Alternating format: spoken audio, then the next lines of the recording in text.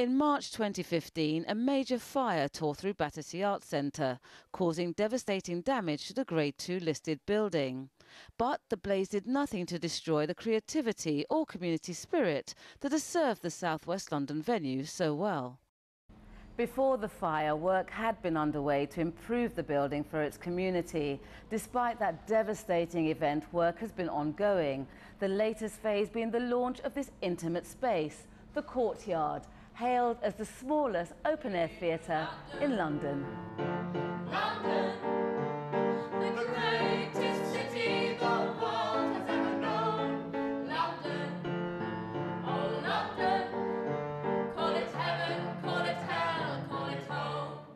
Little Bulb Theatre are the first company to perform in the new space, presenting a musical melodrama set in Victorian London called Extravaganza Macabre. What's it like as a performance space? We've got this huge vertical space to play with, which is sort of doesn't exist anywhere else. I've never seen it exist anywhere else. So it's got all the, the magic of a big grand theatre, but with all the intimacy of like a cosy uh, cosy theatre as well. Oh, but that is the key, sweetheart.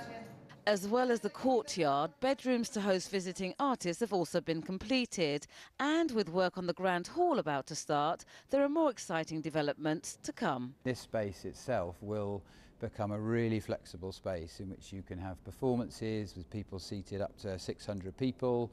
We'll be able to have gigs in here, which we haven't had for many, many years, uh, with up to a thousand people.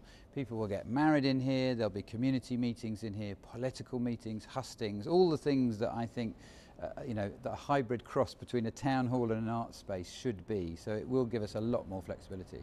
Extravaganza Macabre runs until the end of August, while the big production that is complete in the Great Hall should end in 2018. Brenda Emmanus, BBC London News.